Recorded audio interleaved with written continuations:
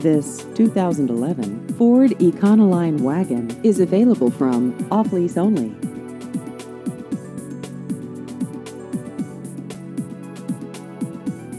This vehicle has just over 50,000 miles.